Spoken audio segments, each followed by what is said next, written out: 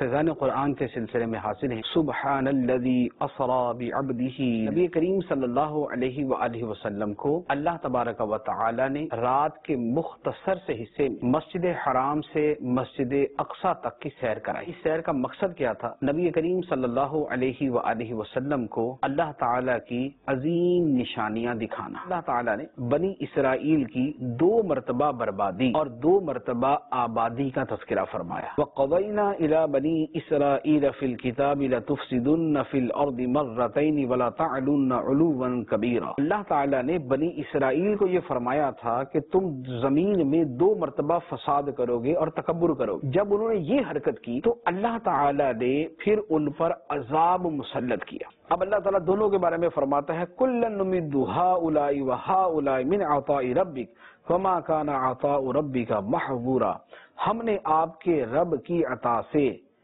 ان دنیا کے طلبگاروں اور ان آخرت کے طلبگاروں کی سب کی مدد کرتے ہیں اور تمہارے رب کی عطا روکی جانے والی نہیں۔ یعنی اللہ تعالیٰ فرماتا ہے کہ یہ ہوں یا وہ ہوں؟ یہ دنیا کے طلبگار، وہ آخرت کے طلبگار۔ فرمایا، یہ ہوں یا وہ ہوں؟ اللہ تعالیٰ دونوں کو عطا فرماتا ہے۔ اللہ تعالیٰ کی عطا میں کوئی روک نہیں ہے، کوئی رکاوٹ نہیں ہے۔ خدا کے دینے کو روک کوئی نہیں سکتا۔ اللہ تعالیٰ دونوں کو دیتا ہے، لیکن نتیجہ دونوں کا بڑا مختلف نکلتا ہے۔ دنیا کے طلبگاروں کا انجام کچھ اور ہوتا ہے، آخرت کے طلبگاروں کا انجام کچھ اور ہوتا ہے۔ اس کے بعد اللہ تعالیٰ فرماتا ہے، انظر کیف فضلنا بعضهم على بعض، وللآخرة اکبر درجات و اکبر دیکھو، ہم نے ان میں سے یعنی لوگوں میں سے ایک کو دوسرے پر کیسی بڑائی دی؟ اور بے شک آخرت درجات کے اعتبار سے سب سے بڑی ہے، اور فضیلت دینے میں بھی سب سے بڑی ہے۔ یعنی اللہ تعالیٰ فرماتا ہے کہ اے لوگوں دیکھو، ہم نے لوگوں میں ایک کو دوسرے پر بڑائی دی، کسی کو مال زیادہ دیا تو کسی کو عزت زیادہ دی۔ لیکن یہ جو دنیا میں کسی کو بھی مال زیادہ مل گیا یا عزت زیادہ مل گئی، اس کے پیچھے نہ چلو۔ اللہ تعالیٰ فرماتا ہے کہ آخرت جو ہے، درجات کے اعتبار سے سب سے بڑی وہ ہے۔ جس کی آخرت درست ہے، اس کو دنیا میں اگر مال نہیں بھی ملا تو کوئی مسئلہ نہیں۔ لیکن جس کی آخرت برباد ہوگی، اس کو دنیا کے اندر ساری دنیا کی بھی دولت مل جائے، تو اس کو کوئی فائدے، اس کے لیے کوئی فائدے مند نہیں ہے۔ اس کے بعد اللہ تعالیٰ نے متعدد احکام بیان فرمائے ہیں، کثیر احکام ہے یہاں پر، جس میں سب سے پہلے تو رد شرک ہے، عبادت الہی کا حکم ہے، پھر والدین کی خدمت کا ہے، والدین کے ساتھ اچھے انداز میں گفتگو کرنے کا ہے، اور اس کے بعد پھر مزید کافی سارے احکام اللہ تعالیٰ نے بیان فرمائے۔ ارشاد فرمایا،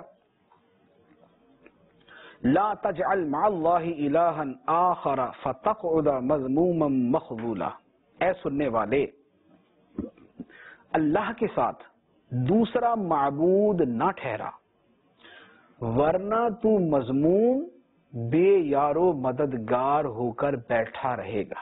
خدا کے ساتھ شریک نہ کر کسی کو، ورنہ تو مذمت والا اور بے یارو مددگار ہو کر بیٹھا رہے گا۔ اب اس کے بعد احکام کا سلسلہ شروع ہوتا ہے۔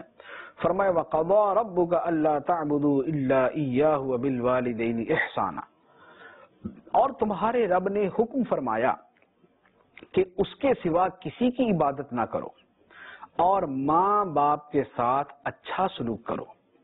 اگر تیرے سامنے ماں باپ میں سے کوئی ایک یا دونوں بڑھاپے کو پہنچ جائیں، تو ان سے اف تک نہ کہنا اور انہیں نہ جھڑکنا اور ان سے خوبصورت نرم بات کہنا اور ان کے لیے نرم دلی سے آجزی کا بازو جھکا کے رکھ اور دعا کر کہ اے میرے رب، تو ان دونوں پر رحم فرما، جیسا ان دونوں نے مجھے بچپن میں پالا تھا۔ یہ ہے ماں باپ کے بارے میں قرآن پاک کی تاکید۔ فرمایا، ماں باپ سے اچھا سلوک کرو۔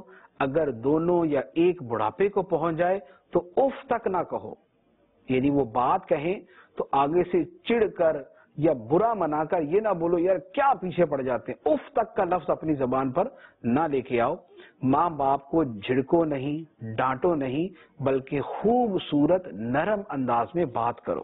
اور فرمایا کہ نرم دلی کے ساتھ آجزی کا بازو اپنے ماں باپ کے سامنے پچھا کے رکھو۔ اور ماں باپ کے لیے اللہ کی بارگاہ میں بھی دعا کرتے رہو۔ یعنی اپنی طرف سے جتنا ہو سکے ماں باپ کی خدمت کرو، اچھے انداز سے پیش آؤ۔ ان کی جتنی تعظیم کر سکتے ہو کرو، یہ سارا کچھ کرنے کے بعد بھی یہ سمجھو کہ تم نے حق ادا نہیں کیا، لہذا اللہ کی بارگاہ میں دعا کرو کہ اے اللہ، میرے ماں باپ پہ رحم فرما، جس طرح انہوں نے بچپن میں مجھے پالا تھا۔ اس کے بعد اللہ تعالیٰ فرماتا ہے، ربکم اعلم بما فی نفوسکم، ان تکونوا صالحین فانہو کان للاوابین غفورا۔ تمہارا رب خوب جانتا ہے، اے لوگو، جو تمہارے دلوں میں ہے۔ اگر تم لائق ہوتے یعنی صالحین نیک ہوتے، تو بے شک اللہ توبہ کرنے والوں کو بخشنے والا ہے۔ اے لوگوں جو تمہارے دل میں ہے، اللہ خوب جانتا ہے۔ اگر تم نیک ہوگے، تو اللہ تعالیٰ توبہ کرنے والوں کو بخشنے والا ہے۔ اس کے بعد رشتہ داروں کا خیال کرنے کا اور فضول خرچی سے بچنے کا اللہ تعالیٰ نے حکم دیا۔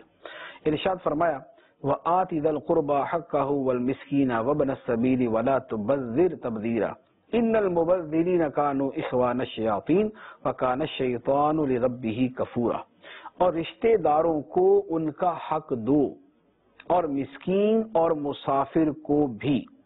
اور فضول خرچی نہ کر، بے شک فضول خرچی کرنے والے شیطانوں کے بھائی ہیں۔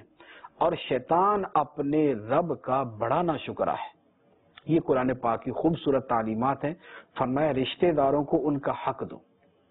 رشتہ داروں کا حق کیا ہے کہ ان سے اچھا شروع کیا جائے، وقتاً فوقتاً تحفہ تحائف دے دیا جائے۔ غریب ہے تو اس کی مدد کر دی جائے۔ وقتاً فوقتاً ان سے ملاقات کرتے رہیں۔ خوش دلی کے ساتھ، ملن ساری کے ساتھ، اچھے انداز کے ساتھ ان سے ملاقات کرتے رہیں۔ یہ نہیں ہے کہ چھوٹی چھوٹی باتوں کے اوپر لڑ بھڑ کے بیٹھ جائیں، زندگی بھر کے لیے قطع تعلقی کر لیں، بات چیت ختم کر دیں، منہ دیکھنا بند کر لیں، مرنا چینا ختم کر دیں۔ یا جب تک بہن بھائی یا قریبی رشتہ دار جو ہے ان کی شادیاں نہیں ہوئی تب تک تو بہت اچھے ہیں۔ شادیاں ہوگی تو ہر کوئی اپنے بچوں کو لے کے بیٹھا ہوا اب دوسرے کا سننا ہی کوئی نہیں ہے۔ یا ایک جب تک پیسہ نہیں ہے تو تب تک تو بڑے اچھے ہیں۔ پیسہ آ گیا تو اس کے بعد اپنے بھائیوں کو، بہنوں کو، رشتہ داروں کو منہ لگانا پسند نہیں کرتے۔ یہ والا طرز عمل ہونا چاہیے۔ پیسہ آ جائے، شہرت آ جائے، عزت آ جائے، دولت آ جائے۔ اپنی اولاد بڑی ہو جائے، سب کچھ ہو جائے، لیکن یہ نہیں ہے کہ اس کی وجہ سے اپنے دیگر رشتہ داروں سے آدمی قطع تعلقی کر لے، جو ان کا حق ہے وہ ان کو ادا کرنا چاہیے۔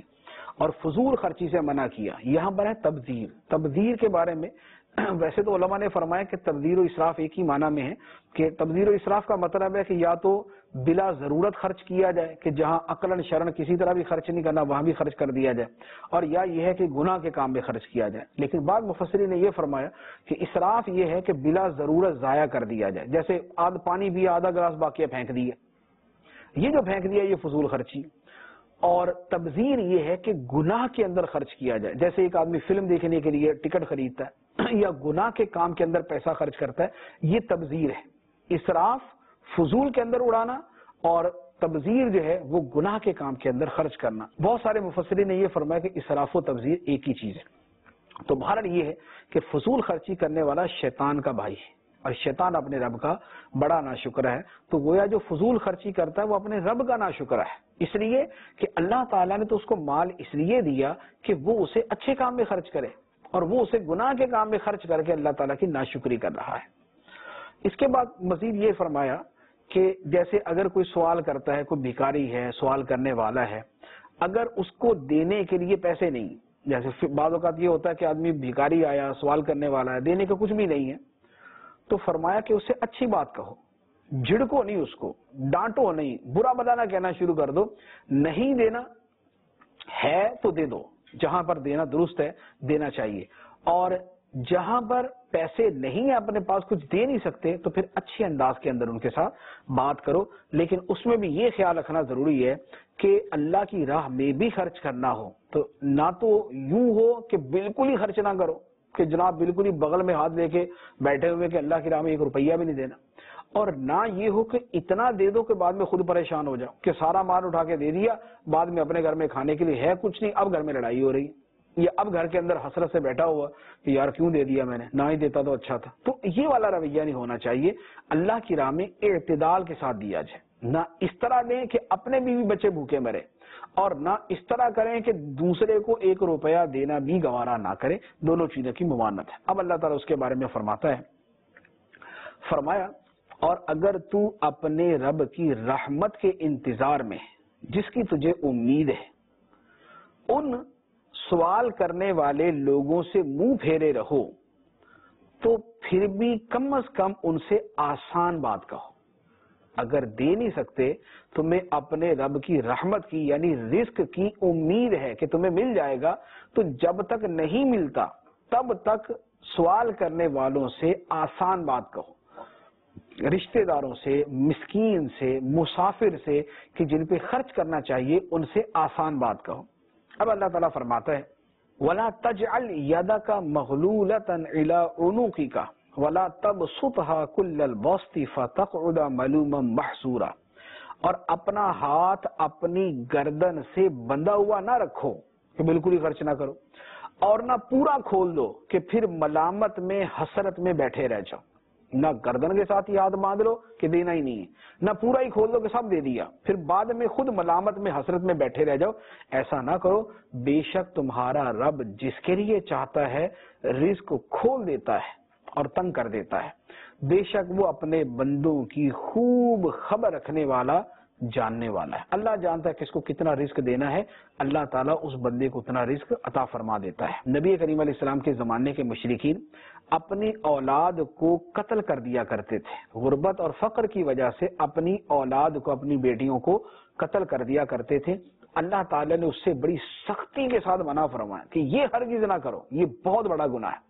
پھر اس کے بعد بدکاری یعنی زنا سے اللہ تعالیٰ نے منع کیا کہ اس کے قریب تک نہ جاؤ۔ اور قتل ناحق کسی کو بلا وجہ جان سے مار دینا۔ اللہ تعالیٰ نے اس سے منع فرمایا۔ ارشاد فرمایا، ولا تقتلوا اولادكم خشيه املاق نحن نرزقهم واياكم ان قتلهم كان خطا كبيرا۔ اور غربت کے ڈر سے اپنی اولاد کو قتل نہ کرو۔ اور غربت کے ڈر سے اپنی اولاد کو قتل نہ کرو۔ ہم انہیں بھی رزق دیں گے اور تمہیں بھی۔ بے شک انہیں قتل کرنا کبیرہ گناہ ہے۔ یعنی اللہ تعالیٰ خود فرماتا ہے کہ اپنی اولاد کو قتل نہ کرو غربت کے ڈر سے۔ ہم تمہیں بھی رزق دیں گے، انہیں بھی رزق دیں گے۔ رازق ہم ہیں، تم نہیں ہو۔ لہذا ہم انہیں رزق دیں گے۔ قتل نہ کرو جان کو، کسی بھی جان کو۔ اور فرمایا، بے شک یہ کبیرہ گناہ خط ان کبیرہ، یہ بہت بڑا گناہ ہے کہ اپنی اولاد کو قتل کر دیا جائے۔ پھر اس کے بعد بدکاری کے بارے میں فرمایا، اور بدکاری کے پاس نہ جاؤ۔ بے شک وہ بے حیائی ہے اور بہت ہی برا راستہ ہے۔ زنا کرنا بے بے حیائی اور برا راستہ ہے۔ اس کے بعد فرمایا، اور جس جان کے قتل کو اللہ نے حرام قرار دیا ہے، جس جان کے قتل کو اللہ نے حرام قرار دیا ہے، اسے ناحق قتل نہ کرو۔ اور جو شخص مظلوم ہو کر مارا جائے، تو ہم نے اس کے وارث کو قاتل پر قابو دے دیا۔ تو وہ وارث قتل کا بدلہ لینے میں حد سے نہ بڑھے۔ بے شک وہ وارث مدد کیا ہوا ہے۔ کیا بیان کیا؟ اللہ تعالیٰ نے جان کی حرمت رکھی یعنی کسی بھی شخص کو، کسی بھی شخص کو بلا وجہ شرعی قتل کرنا حرام۔ کسی بھی جان کو۔ خواہ وہ مسلمان ہے، خواہ وہ کافر ہے۔ اللہ تعالیٰ نے ایک معیار بیان کر دیا۔ جہاد ہے، جہاد کے اندر تو لازمی بات ہے، ایک دوسرے کو لوگ مارے جاتے ہیں۔ یا جو ہے وہ شادی شدہ آدمی بدکاری کرتا ہے، یہ ایک آدمی دوسرے کو قتل کر دیتا ہے کے اندر اس کو قتل کیا جاتا ہے، یہ ایک آدمی دین اسلام سے خارج ہو جاتا ہے، مرتد ہو جاتا ہے، اس کو قتل کرنے کا حکم۔ تو جو شریعت نے جو صورتیں بیان کی ہیں، جو اسلام نے، قرآن نے صورتیں بیان کی ہیں، جو سرکار اسلام نے صورتیں بیان کی ہیں، ان کے علاوہ جتنی بھی جانیں ہیں، اللہ تعالیٰ نے ان کو مارنے کو حرام قرار دیا۔ ان کے مارنے کو حرام قرار دیا تو فرمایا کہ کسی جان کو قتل نہ کرو جس کے قتل کو اللہ نے حرام قرار دیا۔ اور اگر کوئی کسی کو مار دے، تو پھر قاتل جو ہے وہ مقتول کے ورثہ کے حوالے کیا جائے گا، وہ اسے بدلہ لے۔ لیکن جو بدلہ لیں گے، قاتل کے، مقتول کے ورثہ جو بدلہ لیں گے، ان کو بھی یہ حکم ہے کہ وہ بدلہ لینے میں حد سے نہ بڑھے یعنی یہ نہیں ہے کہ اس نے، قاتل نے تو ایک قتل کیا تو اب یہ قاتل کے قبیلے کے دو بندے مارے گا، یہ دس بندے مارے گا۔ جیسے ہمارے یہاں بھی جاہلانہ طریقہ یہ موجود ہے اور زمانہ جاہلیت کے اندر بھی ہوتا تھا۔ کہ ایک قبیلے نے دوسرے کا ایک بندہ مارا تو اس کے دس مارے گا، یہ اس کے دو مارے گا، ایسا نہیں۔ یا یہ ہے کہ ایک نے دوسرے کا جو قتل کیا ہے، اب قصاص لینے کے اندر بدترین طریقے سے قتل کرے یعنی قصاص کے اندر ہی قتل کرے لیکن اسے آزا کاٹ دے، ہاتھ کاٹ دے، پاؤں کاٹ دے، اس انداز کے اندر جو قصاص کا شریعت نے طریقہ بیان کیا، اسی کے مطابق اسے بدلا لے۔ اس کے بعد یتیم کا مال کھانے سے منع کیا اور ناپ تول پورا کرنے کا حکم دیا۔ اور فضول باتوں کے پیچھے پڑنے سے منع کیا۔ ارشاد فرمایا، ولا تقربوا مال اليتيم الا بالتي هي احسن حتى يبلغ اشده واوفوا بالعهد ان العهد كان مسؤولا اور یتیم کے مال کے پاس صرف اسی طریقے سے جاؤ جو سب سے اچھا ہے۔ یتیم کے مال کے پاس صرف اسی طریقے سے جاؤ جو سب سے اچھا ہے، یہاں تک کہ وہ یتیم جب اپنی پکی عمر کو پہنچ جائے تو ان کا مال ان کے حوالے کر دو۔ اور عہد پورا کرو۔ بے شک عہد کے بارے میں سوال کیا جائے گا۔ دو باتیں، دو حکم یتیم کا مال کھانا حرام۔ تو فرمایا کہ یتیم کے مال کے قریب اچھے طریقے سے جاؤ کہ جو اس کے وارث ہیں، جو اس کا وسیع ہے، جو اس کے مال کے اندر تصرف کرنے کا شرعن اختیار رکھتا ہے، وہ اچھے طریقے سے اس میں تصرف کرے اور اس کے مال میں، اس کے مال کی دیکھ بھال کرے حتیٰ کہ یتیم بالغ ہو جائے اور بالغ ہونے کے بعد بھی سمجھ بوجھ کی عمر اس کو حاصل ہو جائے کہ اپنے مال کو صحیح طریقے سے وہ چلا سکے۔ دوسری بات فرمائی کہ عہد کو پورا کرو۔ جب کسی سے معاہدہ کرو تو معاہدے کو پورا کرو، کیونکہ قیامت کے دن معاہدے کے بارے میں سوال کیا جائے گا۔ اور جب ماپ کرو تو پورا ماپ کرو اور بالکل صحیح ترازو سے وزن کرو۔ یہ بہتر ہے اور انجام کے اعتبار سے اچھا ہے۔ یعنی ناپ تول کرو۔ خواہ وہ یا وہ لیٹر کی صورت میں ہے، خواہ وہ میٹر کی صورت میں ہے، خواہ وہ کلو کی صورت میں ہے، ناپ تول جو بھی کرو پورا کیا کرو۔ سامان بیچنا ہے، جو بھی چیز بیچنی ہے، اس کی پیمائش کے اندر اور اس کے وزن کے اندر ڈنڈی نہ مارو۔ یہ نہ کرو کہ دھوکہ دو، حرام کھاؤ، فریب کرو، لوگوں سے فراڈ کرو۔ فرمایا اللہ تعالیٰ نے اس کو حرام قرار دیا اور فرمایا کہ اس کے مطابق کرو گے یعنی ناپ توڑ صحیح صحیح کرو گے تو فرمایا کہ یہ بہتر ہے اور اس کا انجام بھی اچھا ہے۔ آخرت کا انجام بھی اچھا ہے دنیا کا انجام بھی اچھا ہے۔ آخرت کا انجام تو یوں اچھا ہے کہ اللہ تعالیٰ کے حکم پہ عمل ہے۔ دنیا کا انجام یوں اچھا ہے کہ جب ایک بندہ ڈنڈی مارتا ہے، ناپ تول میں کمی کرتا ہے، تو جب بندے کو، جب خریدار کو پتا چل جائے کہ یہ ناپ تول میں ڈنڈی مارتا ہے دوبارہ اس کے پاس نہیں آئے گا کبھی بھی۔ اور اگر صحیح ناپ تول کر کے دے گا، تو خریدنے والا بار بار اس کے پاس آئے گا۔ تو انجام دنیا کا بھی اچھا ہے، آخرت کا بھی اچھا ہے۔ اللہ تعالی ہمارے لوگوں کو عقل اور ہدایت عطا فرمائے۔ ہمارے قوم کا تو یہ حال ہے کہ رمضان کے اندر بھی اس حرام کھانے سے بعد نہیں آتے۔ پھل بیچنے والے، سبزی بیچنے والے، دیگر چیزیں بیچنے والے امپورٹ ایکسپورٹ کا کاروبار کرنے والے، بیرون ملک کے اندر بیچنے والے بھی ڈنڈی مارنے سے باز نہیں آتے، جس کی وجہ سے دنیا بھر کے اندر مسلمان بدنام ہوتے ہیں۔ اللہ تعالیٰ ان کو عقل سلیم عطا فرمائے۔ اس کے بعد فرمایا، وَلَا تَقْفُ مَا لَيْسَ لَكَ بِهِ عِلْمٍ۔ ان السمع والبصر والفؤاد كل اولئک کان عنه مسئولا۔ اور اس بات کے پیچھے نہ پڑ جس کا تجھے علم نہیں۔ بے شک کان اور آنکھ اور دل ان سب کے بارے میں سوال کیا جائے گا۔ بعض اوقات کیا ہوتا ہے، اس کے کئی مفہوم ہیں۔ ایک مفہوم تو یہ ہے کہ جس بات کی تحقیق نہیں ہے، اس پہ عمل نہ کر۔ ایک بات کا پوری طرح پتہ نہیں ہے، اس پہ عمل کرنا شروع کر دو۔ ایک آدمی کے بارے میں پوری طرح معلومات نہیں ہے، لیکن پھر بھی اس کو غلط سمجھنا شروع کر دو۔ ایسا نہ کرو۔ اور ایک یہ ہے کہ جس بات کا تجھے علم نہیں اور تمہارا اس سے تعلق بھی نہیں ہے تو خام کا اس کے پیچھے نہ پڑ جاؤ۔ کیونکہ قیامت کے دن اللہ تعالیٰ نے آنکھوں کے بارے میں، کان کے بارے میں، دل کے بارے میں سوال کرنا ہے کہ تمہیں میں نے آنکھیں دی تھی، استعمال کہاں کی؟ کان دیے تھے، استعمال کہاں کیا؟ دل دیا تھا سوچنے کے لیے تو سوچا گیا اب یہ نہیں ہے کہ فضول اور الٹی سیدھی جو ہے نا وہ تحقیقات اور فضولیات اور لغویات کے اندر پڑا ہوا، کیا جی؟ کر رہا ہوں جی؟ ریسرچ کر رہا ہوں۔ کیا ریسرچ کر رہا ہوں؟ فضولی ریسرچ کر رہا ہوں۔ نہ اس کا کوئی نہ سر، نہ پیر، نہ اس تحقیق کا، نہ دنیا میں فائدہ، نہ اس کا آخرت میں فائدہ، بس خام خواہ کی تحقیق ہو رہی ہے۔ تو اس طرح کی فضول قسم کی تحقیق یا فضول چیزوں کے پیچھے پڑنا منع ہے۔ قیامت کے دن اللہ تعالیٰ نے حساب لینا ہے کہ یہ تمہیں ہاتھ، پاؤں، آنکھیں، کان، یہ دل دیا تھا تو تم نے ان کو استعمال کہاں کیا؟ اس کے بعد اللہ تعالیٰ نے چلنے کے آداب بیان فرمائے۔ فرمایا، ولا تمشی فی الارض مرحا۔ انکا لن تخرق الارض ولن تبلغ الجبال طولا۔ اور زمین میں اتراتے ہوئے نہ چل۔ بے شک تو ہرگز نہ زمین کو پھاڑ دے گا اور نہ ہرگز بلندی میں پہاڑوں کو پہنچ پائے گا۔ یعنی یہ زمین میں اکڑ کے چلنا، تکبر سے چلنا فرمایا ایسا نہ کرو۔ یہ نہیں ہوگا کہ گردن اکڑا کے چلو گے تو جناب تم آسمانوں کو پہنچ جائے گے، پہاڑوں سے اوپر ہو جاؤ گے۔ یہ نہیں ہے کہ اکڑ اکڑ کے چلو گے زمین پہ زور سے پاؤں مارو گے تو زمین ہی پھٹ جائے گی۔ فرمایا ایسا کچھ نہیں ہوگا، لہذا زمین میں اتراتے ہوئے نہ چل۔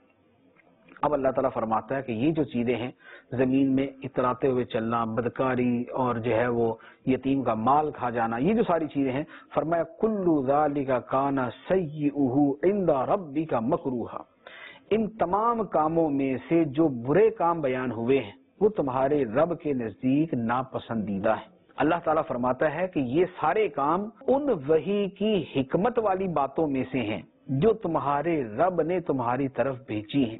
اور اے سننے والے، تو اللہ کے ساتھ دوسرا معبود نہ ٹھہرا، ورنہ تجھے ملامت کے لائق مردود کر کے جہنم میں ڈال دیا جائے۔ یہاں پر اگر آیات مبارکہ پر غور کریں، تو کثیر احکام یہاں پر میں نے آپ کے سامنے جب وہ تلاوت کیے ہیں، جو اللہ تعالیٰ نے والدین کی خدمت کا فرمایا، رشتہ داروں سے حسن سلوک کا فرمایا بدکاری کے قریب نہ جانے کا فرمایا، ناپ تل پورا کرنے کا فرمایا قتل اولاد سے منع کیا، اولاد کو قتل کرنے سے منع کیا، یہ جتنی چیزیں ہیں، بزرگان دین فرماتے ہیں، تفسیروں میں لکھا ہوا ہے کہ یہ جو چند آیات مبارکہ ہیں، یہ پوری تورات کا خلاصہ ہے اللہ تعالیٰ نے تورات کے اندر جتنے احکام دیے تھے، ان تمام احکام میں جن کا تعلق مین مین چیزوں کے ساتھ تھا، وہ ساری کی ساری چیزیں اللہ تعالیٰ نے ان آیات کے اندر بیان فرما دی۔ یہ قرآن پاکی جامعیت۔ ہے اس کے بعد اللہ تعالیٰ مشرقین کا رد کرتے ہوئے ارشاد فرماتا ہے فرمایا کہ کیا تمہارے رب نے تمہارے لیے بیٹے چن لیے اور اپنے لیے فرشتوں سے بیٹیاں بنا لی؟